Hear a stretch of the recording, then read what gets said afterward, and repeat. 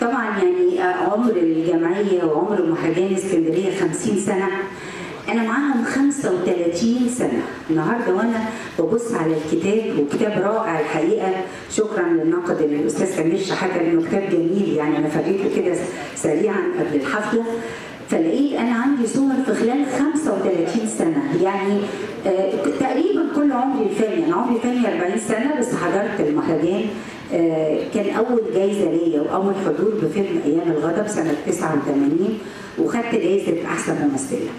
ومهرجان اسكندرية دايما يرسي قواعد جديدة. يعني أنا مش متوقعة خالص الجايزة دي. أنا حاسة إن أنا عاملة دور كويس. لكن الدور كان كله سبع مشاهد. يعني ما توقعتش إن أنا آخد فيه جايزة أحسن ممثلة. لأن أحيانا لجان التحكيم يعني لما بيبقى الدور صغير بس دور مميز قوي ممكن يقولوا جائزة خاصة جائزة تقديرية أو أو يعتبروه جائزة دور تاني. لكن المهرجان حقيقي محترم يرسي قواعد جديدة.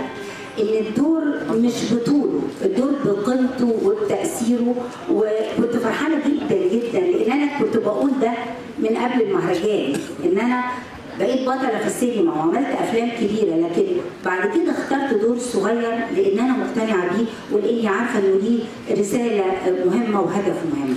ومرت بقى سنين كتير وخدت سنين عديدة. أنا قعدت خمس سنين ورا بعض آخد جائزه أحسن ممثلة في مهرجان اسكندرية من 96 ل 2000 فبعدها قلت أنا مش هقدم أفلام تاني في المهرجان لأنه أنا مش عايزة اضايق يعني الزميلات والزملاء أو حسيت إنه كتير بجد لكن أنا يمكن في الفترة دي كنت مجتهدة قوي كنت بشتغل في أفلام كلها مش مهم إنها تكون حاجات جماهيرية قد ما مهم إن تبقى ليها قيمة كبيرة مع مخرجين كبار وكتاب كبار ويبقى الدور ليه أثر ورسالة كبيرة. وطبعا شاركت أكتر من مرة في لجنة التحكيم ومؤخرا الدورة ال 39 كنت تعمل دورة باسمي. أنا شايفة إن ده تكريم وتشريف كبير جدا ليا. يعني كل الشكر والتقدير لمهرجان اسكندرية والجمعية المصرية للكتاب ونقاد السينما إن أنا خريجه هذه الأكاديمية. طبعا أنا بنت المعهد العالي للفنون المسرحية قسم التمثيل والإخراج وبعتز جدا بكل فنان تعب وتعلم واهتم إنه يتثقف وإنه مش بس يعني الموهبة طبعا مهمة وأساسية لكن الدراسة كمان بتثقل الفنان وبتضيف ليه كتير. والفن أكيد بيعلمنا الإنسانية والخير والجمال والمحبة بيعلمنا أشياء جميلة جدا. النهارده المفروض إن أنا أبقى مبسوطة قوي بهذا التكريم.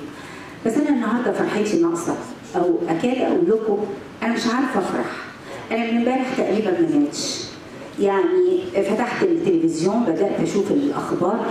ما صدقتش اللي بيحصل في فلسطين. قلبنا موجوع جدا وعايزين نقول لهم إن مش معنى إن إحنا بنحضر مناسبات أو مهرجانات. طبيعي إن الحياة لازم تستمر. لكن إحنا جوانا ألم كبير كبير جدا للي بيحصل في فلسطين. يعني اللي بيحصل امبارح ناس آمنة نايمة في خير نايمة على الأرض بيوتها اتهدت. فتتفجر وتتحرق ونشوف مناظر ونسمع صراخ يعصر القلب عصر. المجتمع الدولي فين؟ يعني إسرائيل بهذا التجبر وهذا الفجر وخرق كل المواثيق الدولية وكل ما يخص حقوق الإنسان، يعني شيء الحقيقة زاد عن حده، ورغم ان كل المجتمع الدولي أغلبه دلوقتي مع فلسطين ومع حق فلسطين في إقامة دولتها ومع حقهم في دفاعهم عن أرضهم. وما ينفعش يتقال إن اللي بيدافع عن أرضه إن هم بيحارب. يعني إسرائيل بتقول أنا بحارب الإرهاب. أي إرهاب؟ اللي بيدافع عن أرضه يبقى إرهابي. أنا لو حد قرب من مصر أنا أول واحدة هنزل أحارب عن مصر. وكلنا هننزل نحارب عن مصر. فلو كل واحد بيحارب عن بلده اسمه إرهابي أنا بعلن النهارده إن أنا هكون إرهابية. شكرا. لكم